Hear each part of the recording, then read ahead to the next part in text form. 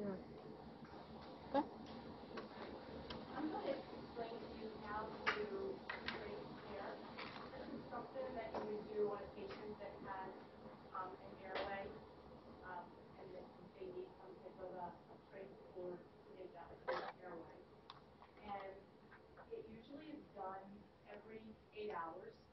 The hospital, you see it's done every shift, or whatever necessary. So if the patient is um, having lots of secretions, those secretions might be built up around that canal, and it might need to be cleaned a little bit more frequently. But most of the time, it is, um, you know, like every eight hours. So you go into your patient, and you introduce yourself, you identify your patient, and you um, explain to the patient what procedure you're doing. You assist your patient in a position like a semi-Fowler's or a Fowler's position is most comfortable for you or and um, something that's comfortable for your patient. You're going to gather your supplies. In the hospital, we have a tracheostomy care kit. There's normal saline that you'll need. if It's not all already in the stone kit. And clean gloves.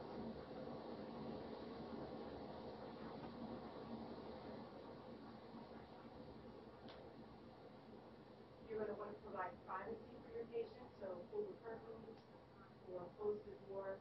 You're going to want to wash your hands. And then what you're going to do is open up your tracheostomy kit. This one is.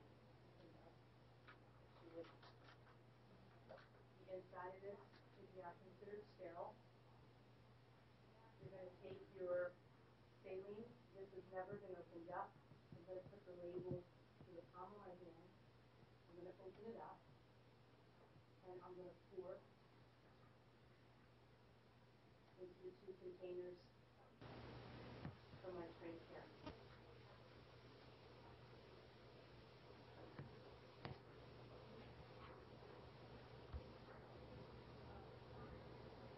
I'm gonna put on my clean gloves.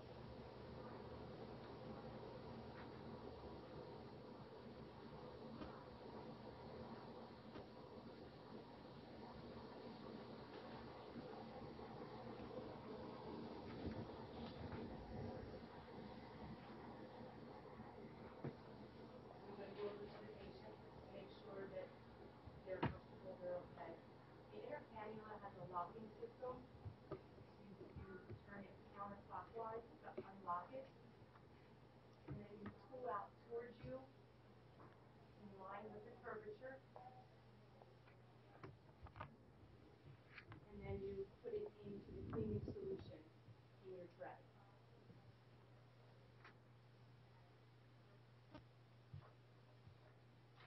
You come back over to the patient and there's a drain sponge that's underneath of this tray.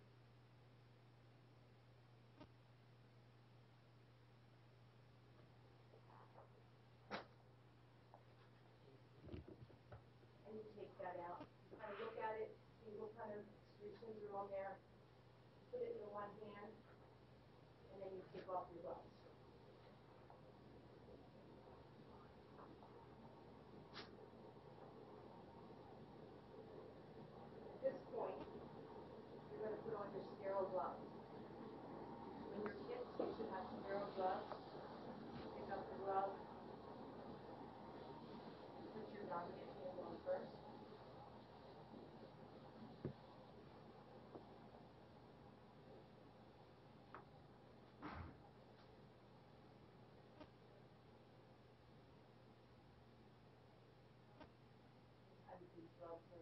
Challenging, and it's better to use gloves that are in the prepackaged. I can kind of take my fingers.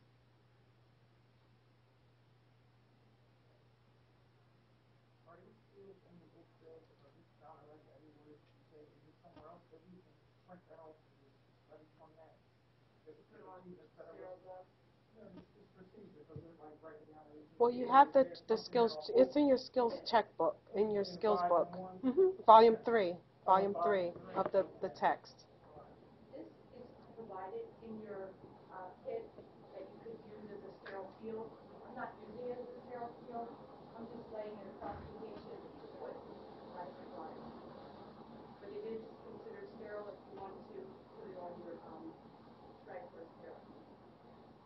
At this point, my dominant hand remains sterile. My other sterile hand now is going to be unsterile because it's going to pick up the inner cannula.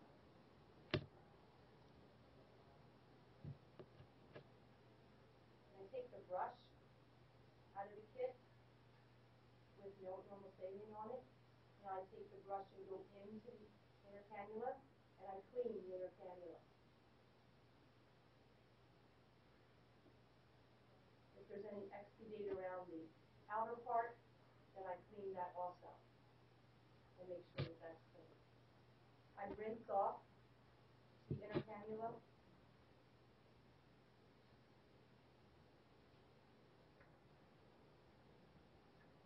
And then what I, what I want to do is shake, tap it on the inside of the tray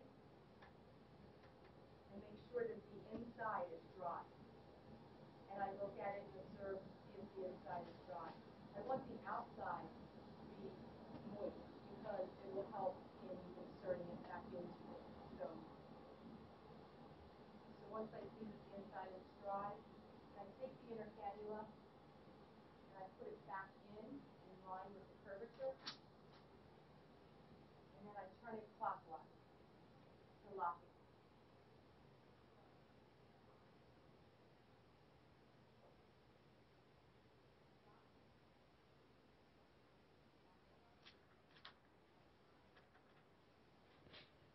So at this point, what you want to do is you want to clean the stoma area underneath the trach plate, and then you want to clean the trach plate itself. So you would take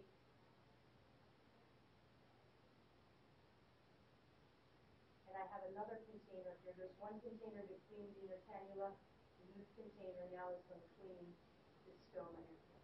I'm going to support the stoma area with my non-dominant hand, and then this hand is going to go underneath and around the stoma on the left side. If I needed to do it again, I would just take another um, Q-tip and clean that again.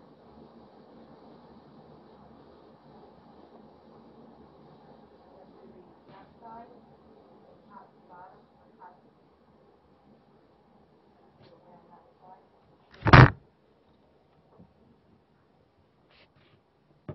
There are pipe cleaners in your tray, in your, probably your tray kit, and, um, we don't use those anymore. You will see that in your Pearson book, to use either the, um, the brush or the pipe cleaners. But evidence has shown that the pipe cleaners, the uh, fibers sometimes come off and can cause infection or whatever. So we don't use these anymore, but you will see them, um, listed as part of your skills in your Pearson. So then you would take a four by four, and you're gonna wet it with your saline, and you're gonna clean the left side of the trach plate. And then dispose of it.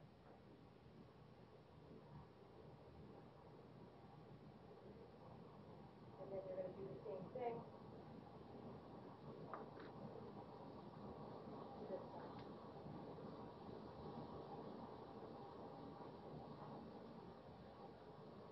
There's a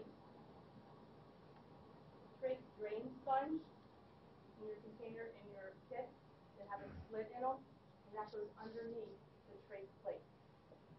So you would place it underneath. You're supporting the plate so it doesn't come out, because one of the complications is, is, um. Where the actual plate just comes right out of the stoma. At this point, you're using both hands.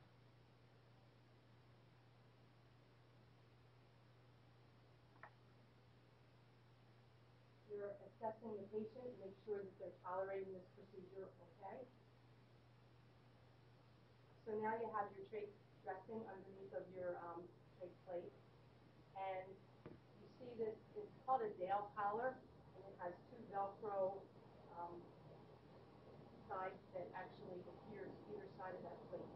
They get changed usually once a week or whenever necessary.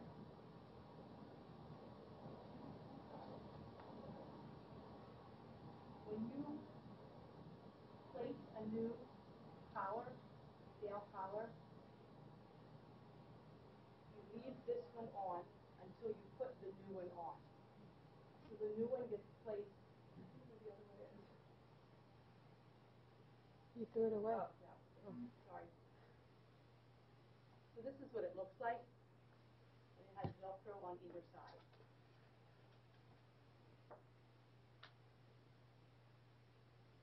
So I'm gonna place it.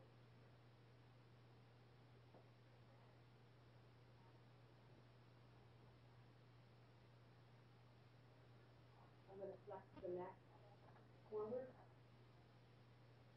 and pull it through.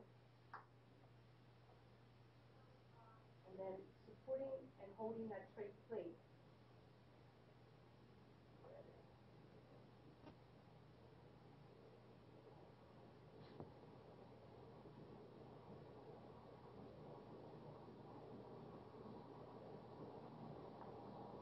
I put the new one through. When the new one's through, I can throw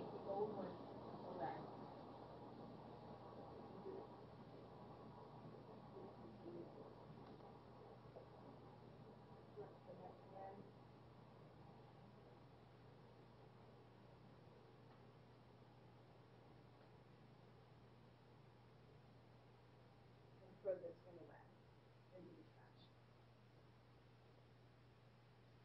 So at this point, I observe my patient to make sure that they're still breathing good. If they have um, supplemental oxygen, I would then attach that supplemental oxygen to the patient. I'm going to um, remove all of the supplies that I used. I'm going to take off my gloves. I'm going to wash my hands. I'm going to document the procedure. I'm going to document the client's response to the procedure, and I'm going to document the assessment data, whether there was any excretions or blood um, during the procedure. I'm going to make sure that the patient is comfortable back in the low position, call bell, and um, any questions? Yes. You said you take, when you, you're taking the cannula out, you're putting cleaning solution or just clean solution? Which one do you have? I'm putting it in the saline, okay. saline, Saline. saline solution, yeah. Do you throw all of that away before you take off your gloves? After you're all done? I would. I would, because I wouldn't want to touch it with exposed hands. Do I take all of what away? Like, All your after you're done, would you throw all, all of that away before you take off your gloves, or would you take off your gloves and then I put probably yours on? would take it all away Okay. with my gloves and then take my gloves Okay. off, yeah. In your kit also, you might see, um, what we call trach ties. It looks like this. And, um, in your book, it also explains how you can, um, keep that trach plate in place by using the ties versus this, this collar. And what you do is you take the, one of the ends, put it through that little opening and tie a knot. Flex the neck forward, pull it through, and do the same thing on this side. Um, and you may see this being used. It's, it's very uncomfortable for the patient, and sometimes you might see that it causes like skin irritation for the patient using this. When, when we're doing this, um, with this procedure, would we be using that patient's bedside table like this?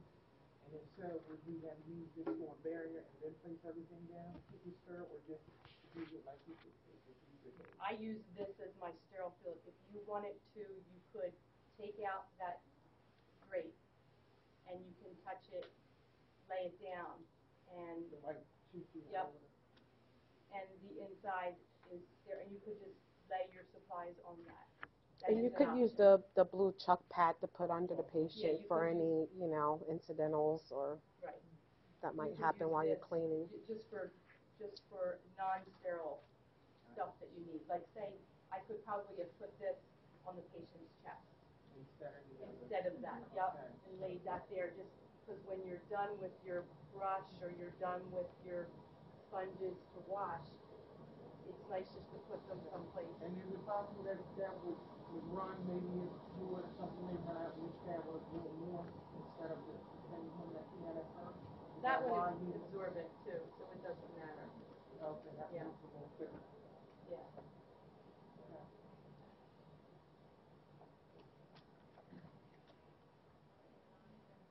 Any other questions? Um, can you show me, you said you pulled out kind of, kind of progress and the curvature? I, you, I didn't see it. When you, when you're ready to turn, um, take this out, um, you turn it counterclockwise, and then it comes out towards you in line with the curvature. So you want to pay attention to that to see how to put it back in. So I wouldn't be putting this back in this way. It wouldn't, it wouldn't go. I have to put it, um, in line with the curvature, the way that the trach is, is yeah. So it comes out in line with the curvature and it goes back in. That, that's what that means. I see the. Yeah. as well. So if you put it the wrong way, it's not right? Right, you're gonna have, you're gonna get, um, resistance. Um, and then it, it, you can actually feel it lock. There are, um, inner cannulas that are disposable. Look a little bit different than this. They have, um, a little flange on either side, and you pinch it to, to sort of, um, take it out. And then you pinch it, and it kind of adheres to this trach plate. So when you're doing trach care with a disposable, you have your clean gloves, and you take out the inner cannula that's disposable, throw it away. And then you have, just like I opened up this sterile kit, you open up your sterile inner cannula. So it's opened up, ready to go. So then you just would pick that up and place it. There's no cleaning involved with that. And that's what you normally see more and more in the hospitals.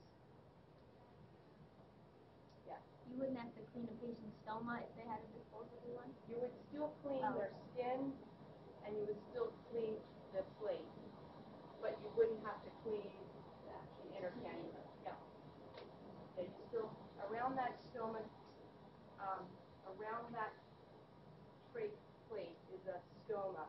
And the skin, depending on how old it is, um, you know, or if it wasn't, if they have a lot of secretions, can cause a lot of irritation. So you might get redness, swelling, bleeding, crustiness around there. So you want to make sure that it remains clean and that you document and assess that. You said you wanna make the, make sure that the inside of the cannula is dry, but the outside can be wet? Yeah, you want to shake it against your um, kit Okay. and make sure that the inside is dry. Okay. Your book says to um, dry it with the pipe cleaners, but that is something that we don't do. And the outside you want you want moist. You, it doesn't matter if that's not dry because that helps with putting it back in. You said once you take the cannula out and dip it into the saline, it's no longer sterile, right? The hand that you use? Yes, that's no longer sterile. I just wanted, because I was kind of getting mixed up which hand was Yeah. sterile and which So- was not. So this this hand is the one that I'm doing the cleaning with, Cleaning. picking up everything. Okay, so the Um, dominant hand then. Yes, your Okay. dominant hand should be the one that is sterile. The one that actually picks the inner cannula up is your non-sterile hand. Okay. Is that okay to support the trach with? And you, su- you support your trach With the with non, your non-dominant hand as you're, Yeah. as you're cleaning with your dominant. When it gets to the point where you actually place that trach, it's, it's kind of difficult to do that one-handed. So with that, at that point, we're using two hands. So then you do become unsterile at that point. But at that point, you don't need to worry about being sterile anymore anyway. Right. Once you're putting that gauze up underneath, You just want to be careful not to touch the part that's going right against the stoma. Try not to touch it as much as possible. So at that point, you wouldn't be touching the cannula anymore because you're not Right. sterile. The cannula's Exactly, already in cannulas and, already in. Right.